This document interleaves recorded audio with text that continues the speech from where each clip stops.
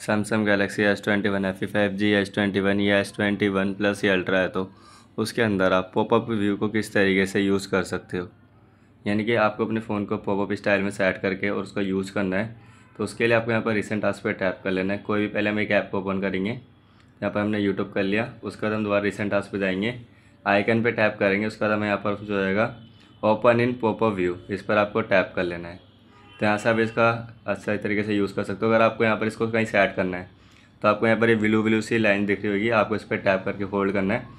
फिर आप इसको जहाँ मर्ज़ी सेट कर सकते हो इस तरीके से। बाकी आप इस पर एक बार से टैप करोगे तो आपका ये बड़ा हो जाएगा। ठीक है, हम फिर से इस पर जाते हैं।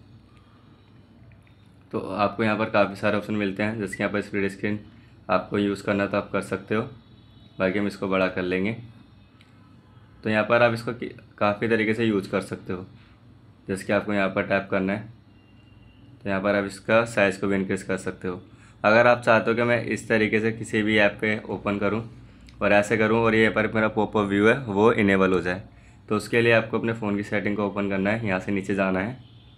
यहाँ पर आपको ऑप्शन होगा एडवांस फीचर्स आपको इस पर टैप कर लेना है लैब्स पे आपको टैप कर लेना है। यहाँ पर आपको ऑप्शन होगा स्वाइप फॉर पॉपअप व्यू आपको इसको इनेबल कर लेना है। अब बस आपको अलग से यहाँ से स्लाइड करना है, आप देख सकते हो यहाँ पर। हमारे ओपन हो चुका है। बाकी हम यहाँ से बैक करेंगे। कट करोगे तो आपको यहाँ से हट जाएगा। तो इस तरह से अपने फ़ोन के अंदर भी इसका यूज़ कर सकते हो। अगर वीडियो चले तो वीडियो को लाइक शेयर सब्सक्राइब करें। मिलते हैं नेक्स्ट वीडियो में, जब तक के लिए बाय